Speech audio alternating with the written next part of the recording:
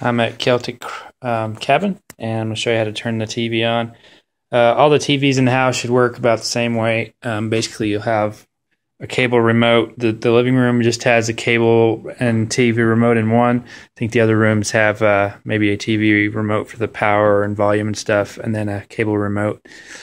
Basically, um, you want to make sure, well, when you get here, all you should have to do is hit the power button. Um, and the TV should come on. There you go. But if you get here and it doesn't turn on, there's a few things that you want to check. Um, first of all, you want to make sure that there's uh, this display right here is lit up, the Motorola box. Um, the power button is right here. And if you can see that, see. there you go. Um, yeah, just make sure the power's on. Um, this is what it looks like with the power off. And then power on. Um, so if the power is off, then with this remote in the living room, you want to push the cable button and then the power button. Cable selects the device. Well, all, all these buttons select the device, and then the uh, power button turns it on or off. So, also, you know, um, like for TV, uh, to be able to turn on the TV, you need to push TV first, and then power. and uh,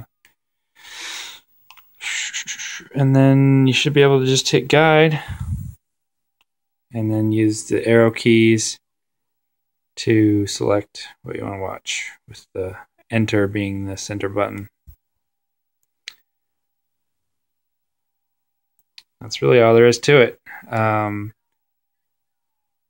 and when you want to turn off the TV, you just hit power.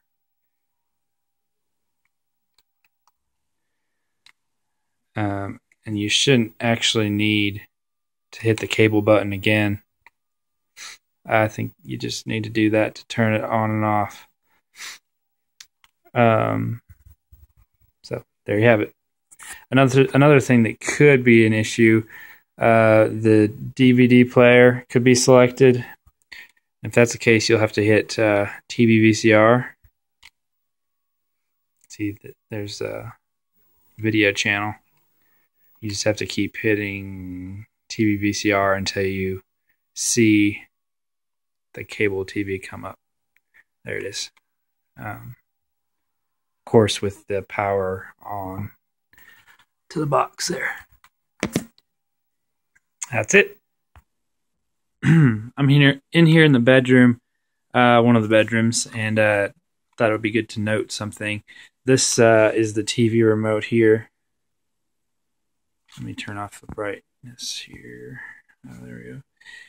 So little black one, and you may have some kind of universal one. When you see this video, they get they tend to get lost. Um, but here, the charter remote is the cable remote. Uh, what can happen in this situation is the uh, with the TV remote, the wrong channel might be selected on the TV. So see, there's there's no uh, picture but the um, power is on. So, you know, if you try the input on this remote, the input button's right here. It's uh, the input button instead of TV slash VCR that you use. Um, let's see. This is kind of horrible. trying to get to focus so you can see the input button. anyways, it's the top left corner right there. There it is. Uh, right there. Um, anyway, uh, the uh, TV using the TV remote. Let's see. I'll just do this. So I'm pushing right now. I'm pushing input. So it's supposed to be on TV, which is the top one that you can't see um, in order to come on. See, I'm cycling through all these and nothing's happening.